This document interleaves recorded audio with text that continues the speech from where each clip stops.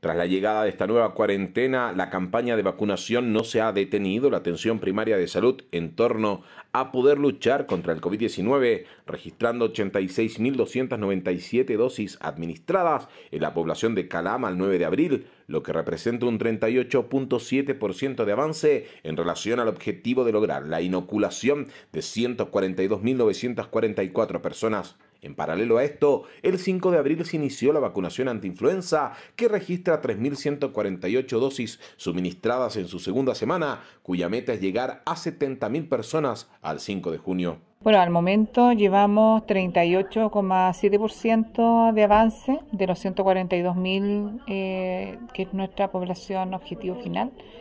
Eh, de los cuales nosotros en atención primaria hemos vacunado alrededor del 70%, 60.000 y algo vacunas.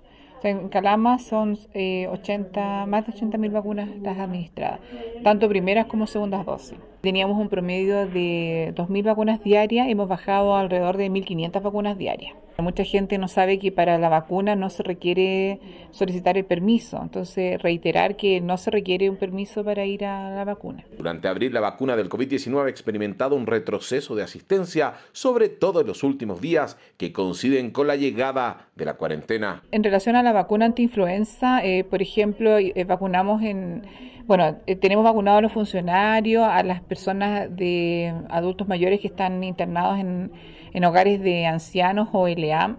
También vacunamos a, las personas de residencia sanitaria y estamos esperando que terminen cuarentena algunas personas que son grupos menores que tenemos que vacunar. La vacunación antiinfluenza continuará esta semana con personas entre 70 y 79 años, funcionarios de ELEAM, CENAME, CENADIS, hospitales y establecimientos psiquiátricos, además de funcionarios y funcionarias de residencias sanitarias y mujeres con notificación reciente de embarazo. Durante este sábado también habrá un operativo en el Hospital del Cobre y en el anexo del Hospital Carlos Cisternas para aquellos que no han podido asistir durante la semana y será desde las 9 de la mañana hasta las 13 horas.